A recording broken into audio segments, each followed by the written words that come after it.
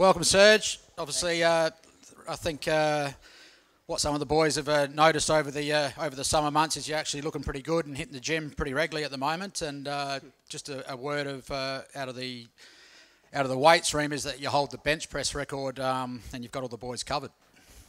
Uh, yeah, that's that's correct. Um, it's pretty it's pretty embarrassing for, for them that a 35, nearly 36 year old outbenches anyone by at least 10 to 12 kilos. Um, but they're, they're chasing, you know, they got they got to strive to be where I'm at, um, which is good. So, um, no, it's good. It's been fun. Yeah, I've just uh, uh, trying to hit the gym a little bit more, just um, trying to get you in there, but that's not working. So, um, but yeah, no, just uh, just getting ready for the year ahead. You know, it's um, I feel like if the players uh, are committing themselves week in week out, then uh, hopefully the coach can do some stuff as well. So I know Pat's been doing a bit as well, and uh, he's looking a million dollars. So um, yeah, it's been good. It's been good. But I know the boys are chasing me. I think Elliot's the next best at about 120, and I've got him at I've got him by about 10 kilos. So um, and hopefully hopefully they can keep chasing me, which would be good. And uh, yeah, seeing your uh, bench press is strong. Also, your social media game is pretty strong, and uh, just seeing you just gallivanting around Adelaide last night at Gauchos with a few of your old power mates. Yeah, that was um, that was just a random. Caught up with Dean Brogan. We were training at Thebarton on a Saturday morning, and he was um, he was helping the GWS women out because obviously they got thrown over in Adelaide whilst that little bit of COVID stuff was happening in Sydney, and um, they came over with no assistant coaches or anything like that. Only Alan McConnell, who's the senior coach of the women's program, and he asked Brogues to come out and um, and help out with training. And Brogues was there. and We had a chat. And he just said, "Oh, we got to catch up for dinner." And flicked out a text to him and Dom and a few of the blokes, and yeah, we caught up. And straight after training last night at Thebby when we had a little uh, little game on, and um, thought I'd be there for maybe one or two hours, and end up staying till about twelve. And it was uh, it was a good night. It's always good when you catch up with you know your old teammates and you talk about how good you were and um, and all the good times and. Um, you know, Brogues, Brogues is very good at that, um, along with me. So um, Dom Dom Dom Cassisi is a bit more humble, which is uh, which is good. So, um, but it, it, was fun. It's always great to catch up with good people, and those guys have been my good mates for, well, 15, 15 16, 17 years now. So um, I'm really lucky to have. Uh, a really good bunch of blokes in my life who I can um, turn to in, in, in tough times and in good times.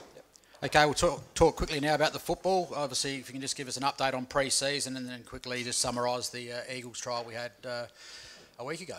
Yeah, pre-season's been really good. So po- post Christmas, the guys only did five sessions. Um, after obviously the grand final, I challenged the guys to come back in really good condition and good shape, which you'd have to say 95% of the group did. Um, you know, we had a lot of guys run PBs on that first night back, so um, we were meant to do I think six or seven sessions, but um, we called training. Uh, we called training off early um, and only gave them five, and they had a three and a half week um, break over over Christmas. And um, after that, the the challenge was to come back in good condition again, so we can not do any extra running on the weekends and just go straight into football. So um, a lot of the guys smashed their 2K time trial PBs by a significant amount. So uh, for me as a coach, you know, to have trust in the players that they're going to rock up in really good condition to compete again for for an opportunity to play in the grand final was really satisfying. And um, basically, from that first week back in January when we came back, we were straight into footy on a Saturday, and I think the the players really appreciated that. And um, as we all know, they're not athletes,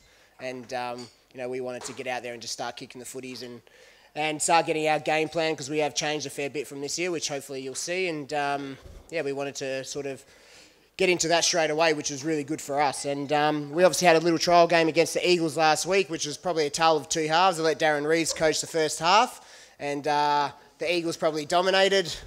Dominated the uh, first half, and then I took over, and we kicked about six goals, ten in that second half. Now, Reeva coached the whole game, and he did a great job. Um, like I said, it was a tale of two halves. Eagles dominated the first half, and then we basically dominated the second half. And um, we had about 11, 12 of our, our guys out who will probably be now starting 22 come um, Central's round one. So um, really exciting. Um, really exciting opportunity for Mac Bowman and a few of these guys who've had really strong pre-seasons to hopefully throw their name up for round one selection. So uh, for me as a coach to see the, some of the guys who um, probably on the fringe of playing league football, get an opportunity to play against real quality team was really exciting for me. So, um, but now we're getting down to the nitty gritty. I'm looking forward to uh, getting stuck into Glenelg and Westies in the next few weeks. And just recently, you got uh, named in the uh, in the coaching group for the uh, state uh, game this year. So congratulations on that. It's your second second uh, second hat in that that space. How have you caught up with Jade and Jared and Brent Riley?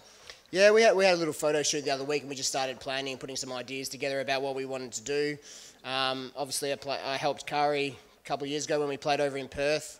Um, we obviously we sort of know what the the WAFL style of game is like. It's a very outside running game where our game's a little bit more contested and bigger bodies over the ball. So um, we we threw some names together that we thought that will in the squad that will help us obviously get over the line again this year. And uh, for me, it's more about going there and learning and um, meeting some guys, meeting the coaches, trying to see what their strengths and weaknesses are. Because I'd like to think that probably South and um, Woodville will be there at the pointy end again. So if I have can have a little advantage on what I think they might be doing, then that's going to help us win. And just build some good relationships with the best players from other clubs. That's yeah, well yeah. Done, I think Serge. Kumi's got a couple of mates over there who play Woodville, so we'll try to sneak a couple of them over in the next 12 months, maybe.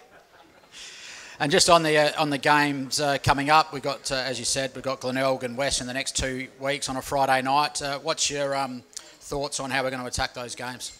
Yeah, so the definitely the one coming up against Glenelg next week on Friday night. We're going to pick a squad of 24, and um, basically it's going to be our best 24. Um, want to get the guys playing, and a lot of the guys have been playing together, and they understand their games and how we want to move the ball in offense and how we want to play in defense. So um, I think it's just really important that we start gelling together as a team. Um, so we'll look at that, and then potentially the following week against Westies could be the 22 or 23. So um, it's getting really tight for spots now. I'm really proud of where the squad is at. They've had an awesome pre-season. They're in great condition. I think we're, um, I think we're in a lot better shape this time this year than we were last year. Um, you know, I usually have Alex Spina. He either calls me or I call him on the way home, and we talk about training and what it looked like and how it was, and the confidence that he fills me with about where we are compared to last year makes me feel really good about this season. And uh, probably just for the, the people here tonight who want to have a look at the auction, um, just give us a, uh, a few tips on the track burners over the pre-season and who, you, who you've liked and what, and what you've seen. Yeah, well, you can't go past the Magarey medalist. Um, he's uh, he looks like he's dropped about three or four kilos. He's got a bit of a chip on his shoulder, I reckon, and um, he uh, he's been outstanding along with Frank Zakelli. Again, he's uh, his running has just been outstanding. He's taking his game to the next level, and we're actually trying to develop his game further.